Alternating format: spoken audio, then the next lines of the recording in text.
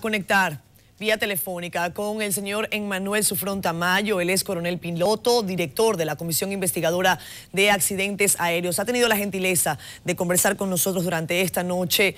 Muchísimas gracias, coronel, por eh, atendernos. Explíquenos, por favor, cuáles son, aunque sabemos que eh, cualquier detalle sería de manera especulativa, pero según su experiencia, ¿qué pudo haber ocurrido? Hablemos de la parte técnica, por favor. Gracias por estar con nosotros. Buenas noches. Muy buenas noches. Eh, bueno, básicamente eh, es muy prematuro para poder hablar de causas. Ah, actualmente apenas está iniciando el proceso de investigación. Nosotros eh, pusimos hoy, después del mediodía, cuando por fin se pudo localizar los restos de la aeronave, lamentando muchísimo con los cuerpos de los cinco ocupantes de la misma. Y empezamos a recolectar las evidencias y hacer el levantamiento. Eh, todo esto es un proceso que lleva tiempo, lleva análisis, lleva ensayos, lleva enviar el motor a banco de pruebas, en la computadora. Gracias a Dios que esta es una aeronave bastante moderna y nos arroja muchísima, muchísima información en la memoria electrónica de la computadora, del motor, lo cual nos va a facilitar muchísimo el proceso de investigación. Pero todavía eh, es muy, muy, muy, muy temprano para poder desarrollar y afirmar cualquier hipótesis. Coronel, eh, cuando usted dice que esta aeronave, eh, por ser moderna, arroja algunos datos que quizás antes no se tenía, sabemos que ustedes han adelantado investigaciones en las que, por ejemplo, han determinado fallas humanas, fallas técnicas. ¿Qué datos puede revelar esta computadora del helicóptero? No se llama caja negra, ¿cierto? En el caso de los helicópteros, corríjame usted.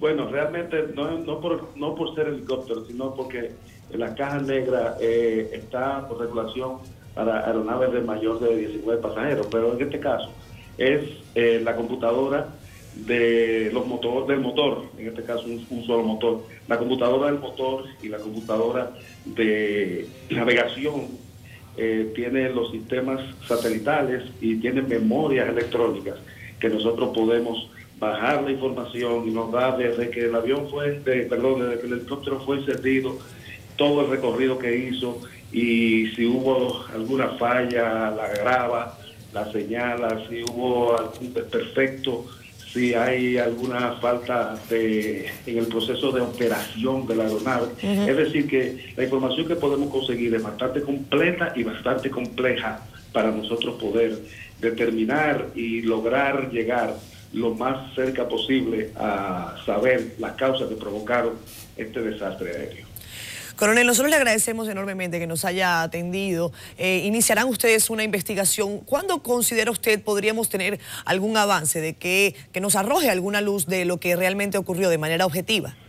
Bueno, básicamente, eh, de acuerdo a, la, a, los acuerdos internacionales, las regulaciones, ahora mismo se van a integrar eh, nuestros homólogos de Francia, eh, por ser fabricante de la aeronave, nuestros homólogos de Estados Unidos por ser la matrícula de la aeronave, una matrícula norteamericana, y estos eh, traerán consigo peritos que nos van a enriquecer el proceso de investigación. Entonces, nosotros debemos en unos 30 días más o menos, debemos eh, dar un informe preliminar eh, como la palabra lo dice, es preliminar y ya de ahí al informe final las cosas pueden cambiar, mm. pero más o menos ya podemos estar hablando en ese momento del informe preliminar de alguna tendencia en el proceso de investigación.